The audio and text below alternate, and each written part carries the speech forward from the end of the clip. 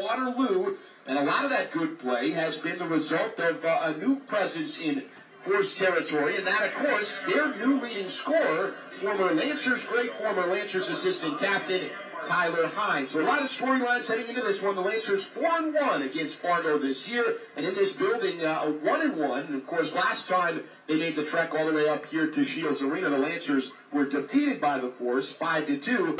Uh, so Now the opponent tonight is Fargo. You guys four and one against them this year, but the last time you played them in this building, things didn't go so well. What do you expect out of a team uh, in Fargo that's playing better lately here tonight?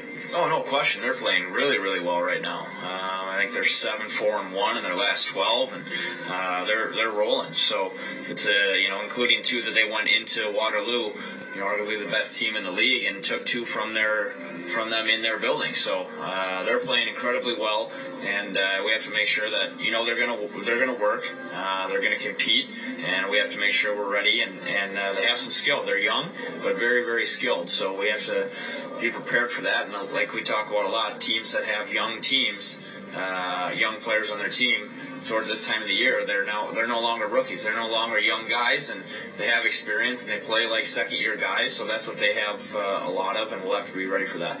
And finally, I'd be remiss uh, as we come to Fargo here if I didn't ask you about a guy who plays for the Force now, but was a big part of your locker room this year, and Tyler Hynes. I don't know if you've had a chance to catch up with him. I know some of the players did yesterday, but uh, is it going to be good to see Hinesy back uh, in the flesh in person here tonight? Yeah, no question. I mean, that was a difficult, difficult uh, thing for us to go through. Uh, you know, he's as a captain, uh, he was huge in building a culture that we wanted here. Um, was it was unfortunate to have to see him go. Uh, you know, that was tough on our staff for sure, and and uh, we wish him nothing but the best. So it's going to be a little bit weird seeing him uh, on the other side. And I know our guys are excited to to see him, and, and yeah, you know, at the end of the day, we still feel like he's part of the Lancer family, and uh, it's it's going to be a little bit different, kind of like an inter squad scrimmage or something like that with with him on the other team. So, uh, like I said, we wish him nothing but the best uh, in the future, and, and he's having great success here. So we're excited about that for him too. Well, Koff, thanks for the time. Good luck tonight. Congratulations again. We appreciate it, and uh, go get them. Sounds good. Thanks, Don.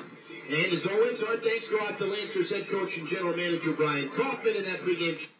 So uh, watch out for that. He's over a point per game in his last five and last ten games. And against Fargo this year, Jake Crandall, the future UNO Maverick, all he's done is string together eight points, including three goals and five assists in five head-to-head meetings. So